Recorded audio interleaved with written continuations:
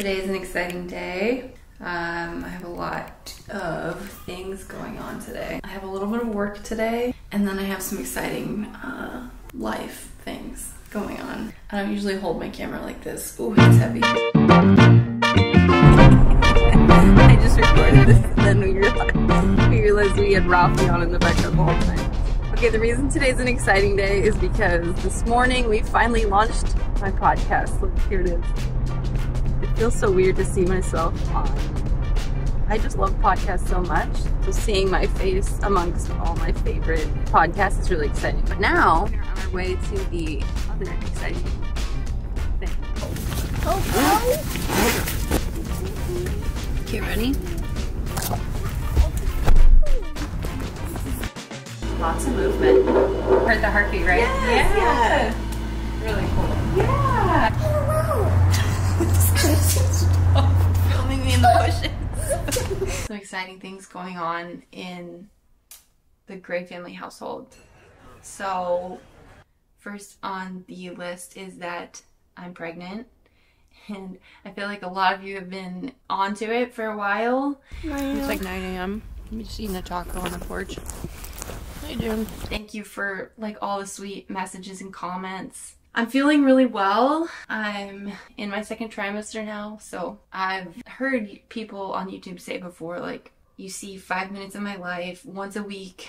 I actually appreciate that sentiment. It's true. What you see of my life is edited. It's what I choose to document. You know, I just thought of hummingbird live cams where you can just at any time of the day you can like pop in and just watch what the hummingbirds are doing. Long story short, I actually feel like a lot of you do know me quite well because at least what I'm trying to do is weave together just my ordinary daily life and trying to romanticize it, but then also weaving in you know, stories about minimalism and slow living because they're just two topics that I, I'm so passionate about. I've talked a lot about what it's like to be a minimalist mother, to have more slow living values in a in a culture where being a mom and having kids is really chaotic. That's what's normal and common and I'm just excited actually for something new. I can share a little bit about what it's like for me, what my tentative wardrobe's like during my this my, like maternity season of my life. Other topics like how I'm preparing for the baby and minimalist baby must-haves and other exciting news.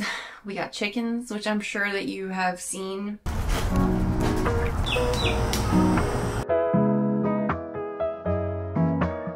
June, you have some new sisters. You can see them. Okay. You think they're spiders? No, they're not spiders. You got them, Ken? Okay. No. Kenny, I think this is the one you can name. You got to pick it up. Okay. Put it in there.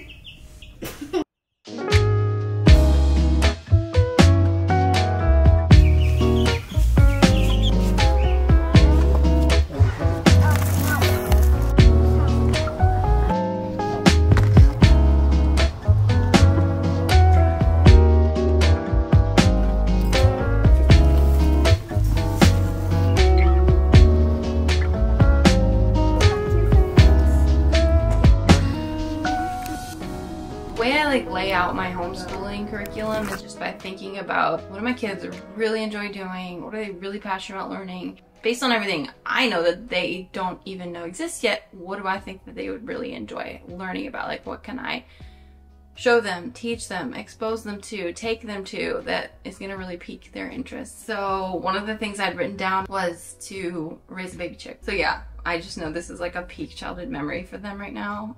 And uh, that always feels good as a parent to know that your kid is like living that. One other thing I've been thinking about, I just felt like I needed to wait until I announced the news about my pregnancy and I was rereading Essentialism during my first trimester because I spent a lot of time just kind of like laying in bed laying on the couch, relaxing. And I was reminded as I read that book, every time I say yes to something, that means I'm saying no to something else. If I buy a new couch, that means I'm saying no to the couch that I have. Note at the time that I might have spent doing something else because now I'm gonna either give away or sell or do something with the couch that I already have. And I'm saying no to the potential things I could have done with the money had I not bought the new couch, right? And sometimes I think we examine those options and we're like, you know what? Yeah, I got the wrong couch to begin with. It's time to sell the couch. You know what the real example is? Is my winter journal. This is the perfect example because this actually happened to me. I love slow living. I love seasonal living. I love sharing inspiration for those things with other women that are passionate about it like I am. It seemed like something that would be a really great opportunity for me. And in, I think in a lot of ways it was. I realized that I was putting way too many things on my plate, that my actual focus and passion is YouTube. And so I had to like really look at myself and be like, hey, I actually really, I want to live what I'm talking about on this channel. Like I really want to live a slow, peaceful, meaningful life. I want to have slow and simple days with my children. I also want to contribute with this work. This is, this is such a passion project for me. And it really makes for a really rich life for, for me to be able to do, share these videos with you, to connect with the women who take my course, all of that. It adds to my life so much. But if I say yes to every opportunity that comes into my mind. And I start spreading myself too thin and I'm not able to effectively do the things that I really want to do, like homeschool my children and not feel rushed. Time to film and edit my YouTube videos and have it actually be like an enjoyable experience for me. I, I really like sitting down at my computer and editing my videos. I like listening to music and picking out the music for it. I don't know how you feel. I feel like I just want to have like more lightheartedness with myself. I never want minimalism placed on my channel to be synonymous with like perfectionism. A perfect amount of items in your home that are meticulously placed and they're never out of order and you just give your life to that. The purpose is that like let let the environment serve you. I, I want there to be that tone of lightheartedness with ourselves as we try things and grow and that's something I want to have more with myself. I don't know about you.